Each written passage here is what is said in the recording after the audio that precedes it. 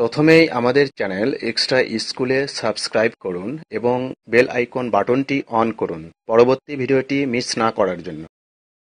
প্যাটার্নের একটি অঙ্ক এখানে দেওয়া আছে। এটি সৃজনশীল অঙ্ক। তো পাঁচ কমা তেরো কমা একুশ কমা উনত্রিশ কমা সাঁত্রিশ ডট ডট। এটা একটা প্যাটার্ন। তো এখানে ক, উনত্রিশ ও সাঁত্রিশকে দুইটি বর্গের সমষ্টি রূপে প্রকাশ করতে হবে। তালিকার পরবর্তী চারটি সংখ্যা নির্ণয় করতে হবে। গ, তালিকার প্রথম পঞ্চাশটি সংখ্যার সমষ্টি নির্ণয় করতে হবে। তো আমাদের তাহলে সমাধানের শুরুতেই ক এর জন্য যেটা, আমাদের কি করতে হবে? উনত্রিশ এবং সাঁত্রিশকে দুইটি বর্গের সমষ্টি রূপে প্রকাশ করতে হবে। তো উনত্রিশকে আমরা কিন্তু বর্গের সমষ্টি রূপে এভাবে লিখতে পারব। পঁচিশের সঙ্গে চার যোগ করলে হবে উনত্রিশ। তাহলে পঁচিশ মানে কি? পাঁচের ওপর স্কোয়ার চার মানে হলো দুইয়ের ওপর স্কোয়ার এটি হলো উনত্রিশের দুইটি বর্গের সমষ্টি রূপ এরপর সাঁত্রিশের ক্ষেত্রে আমরা লিখতে পারি ছত্রিশ যোগ এক। ছত্রিশ মানে হলো ছয়ের ওপর স্কোয়ার আর এক মানে হলো একের ওপর স্কোয়ার তাহলে এটি হবে সাঁত্রিশের দুইটি বর্গের সমষ্টি রূপ ক নম্বর শেষ। এরপর ক্ষয়ের জন্য কি করতে হবে? তালিকার পরবর্তী চারটি সংখ্যা নির্ণয় করতে হবে। তো আমরা ক্ষয়ের, আমরা শুরুতে আমরা লিখব যে প্রদত্ত তালিকা, আমাদের যেটা দেওয়া আছে সেটা আমরা লিখব। তো এখানে প্রথম যেটা, পাঁচ, পরেরটা হলো তেরো। তাহলে পাঁচ এবং তেরো এর মধ্যে ব্যবধান কত? আট। তেরো থেকে পাঁচ বাদ দিলে আট। তাহলে একুশ আর তেরো এর ব্যবধান হলো আট।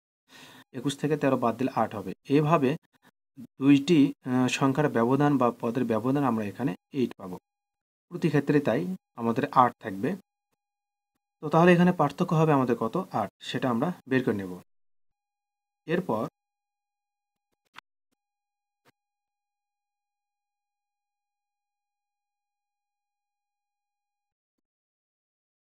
পরবর্তী চারটি সংখ্যা আমরা বের করব। তাহলে সাঁত্রিশ আমাদের যে সংখ্যা আছে, ওটার সঙ্গে আমরা আট যদি যোগ করি, তাহলে সাঁত্রিশের পরের সংখ্যা আমরা পাবো পঁয়তাল্লিশ। পঁয়তাল্লিশের সঙ্গে যদি আমরা আট যোগ করি, তাহলে তার পরেরটা পাবো তিপ্পান্ন।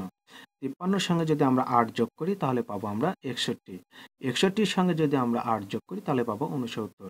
তাহলে এইভাবে সাঁত্রিশের পরে আমাদের চারটি সংখ্যা বের করে নিলাম।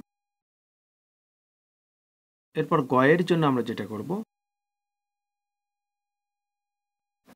গয়ে আমাদের প্রশ্ন হলো যে তালিকার প্রথম পঞ্চাশটি সংখ্যার সমষ্টি নির্ণয় করতে হবে। আমরা লিখব যে প্রথম সংখ্যা আমাদের পাঁচ, যেটাকে আমরা এভাবে লিখতে পারি। আটের সঙ্গে যদি আমরা এক গুণ করি, তাহলে আট এক আটই হবে। আট থেকে যদি তিন বাদ দেই, তাহলে কিন্তু আমাদের পাঁচ থাকে। এরপর দ্বিতীয় সংখ্যা যেটা, সেটা হলো তেরো। তেরো এখানে, আর এখানে আট নেওয়ার কারণ কি? আট নেওয়ার কারণ হলো যে আমাদের যেহেতু দুইটি সংখ্যার মধ্যে ব্যবধান হলো আট, আমরা এর আগেই দেখেছি। এই কারণে আটের সঙ্গে কত গুণ করলে বা আটের সঙ্গে এক গুণ করলে যা হবে, সেখান থেকে কত বিয়োগ, আটের সঙ্গে এক গুণ করলে আমাদের এক আটই হয়। এখন আমাদের দেখতে হবে যে আট থেকে কত বিয়োগ করলে আমাদের পাঁচ হয়। তাহলে এখানে তিন বিয়োগ করতে হলো আমাদের আবার কখন আমাদের যোগও করা লাগতে পারে। তো সেক্ষেত্রে আমাদের সেটা হিসাব নিকাশ করেই নিতে হবে।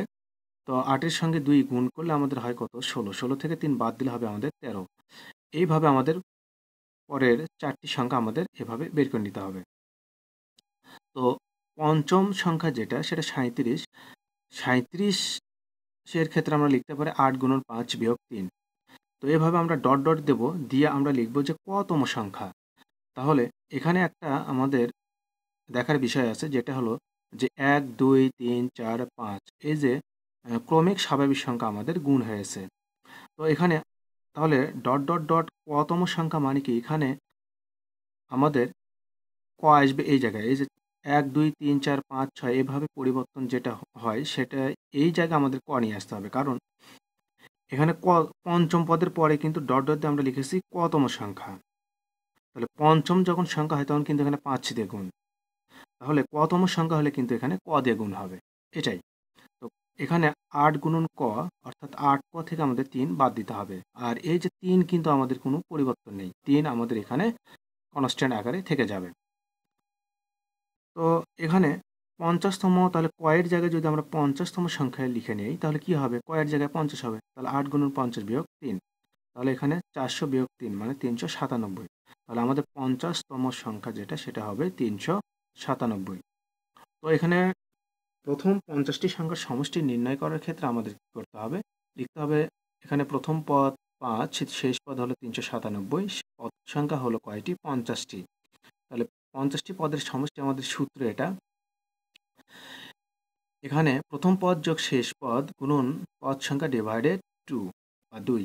এখানে এটা আমাদের একটা সূত্র, সমষ্টি বের করার সূত্র। তো এখানে প্রথম পদ আমাদের পঞ্চাশ, শেষতম পদ আমরা বের করেছি তিনশো সাঁত্রিশ তিনশো সাতানব্বই, আর এখানে পদ সংখ্যা আমাদের কয়টি? পঞ্চাশ। নিচে দুই, এটা সূত্রের দুই। তারপর হিসাব নিকাশ করার পর এখানে তিনশো সাতানব্বইয়ের সঙ্গে যদি আমরা পাঁচ যোগ করি, চারশো দুই গুণন পঞ্চাশ, নিচে দুই। দুই দিয়ে পঞ্চাশকে কাটলে হবে পঁচিশ। চারশো দুইয়ের সঙ্গে পঁচিশ গুণ করলে হবে দশ হাজার পঞ্চাশ। এটি হলো প্রথম পঞ্চাশটি সংখ্যার সমষ্টি।